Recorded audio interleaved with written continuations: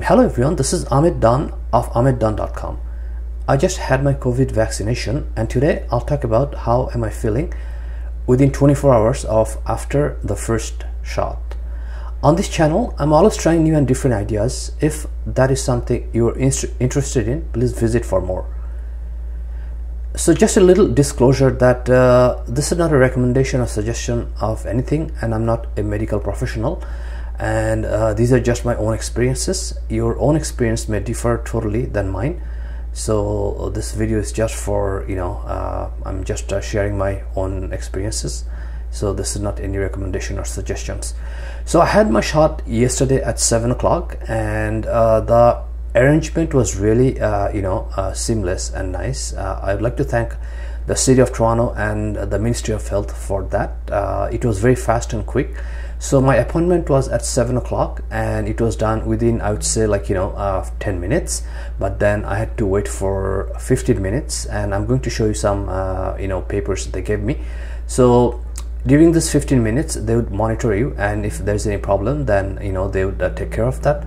But i didn't feel anything so i just like you know uh, left after 15 minutes. And actually i even walked back home and I even picked up a coffee at the Tim Hortons so I was uh, feeling totally fine.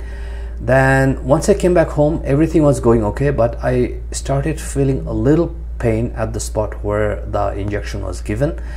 And then still everything was normal but I feel like at night I felt a little bit uh, feverish but it's not you know nothing exceptional or not too much. And I noticed that my voice was a little bit uh, you know rough but uh, it's still you know not a big deal.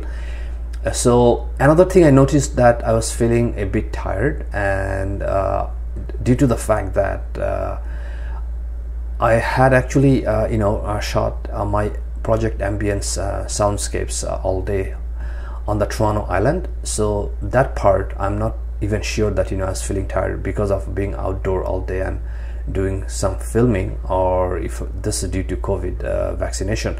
But I had a feeling that you know, it could be due to COVID vaccination because I do ambience uh, sound project every Saturday. So I had a very good sleep because you know I was tired and then uh, in the morning I felt like a little pain at uh, the spot where the injection was given. So what happens when I lift my arm? Uh, it has a little pain but it's nothing exceptional you know it's even i don't know that it's there until i like you know know that i have a pain. So it's not letting me uh, you know uh, or it's not refraining me doing for um, from my everyday daily work. I'm just doing everything normal as is. Uh, so that pain is very negligible on my uh, left arm. And uh, the nurse was really good uh, who gave me the shot. I didn't feel any needle or anything. It was really fast and even I told her that you know uh, it was really good and she was very happy. And uh, they told me that you know I could take Tylenol which is uh, acetaminophen uh, or acetaminophen uh, which would be for you know pain. But I don't see any uh, need for that because at this point you know I'm just doing fine and normal.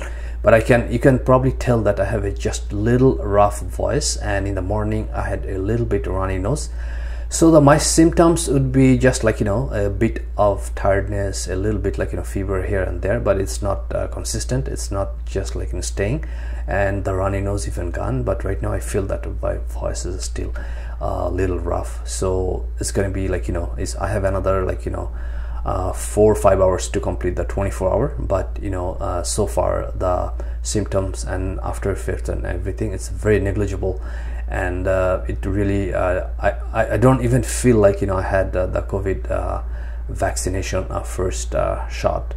So the COVID vaccination I got was the Pfizer one. And the best one is actually whatever comes to you or whatever the whatever is being offered to you. So I just got that. Let's see if I had something else. I would have taken it. I, everything is you know okay it really doesn't matter which one you get uh, or which one I get I would just be taking whatever comes to me and that's what I did.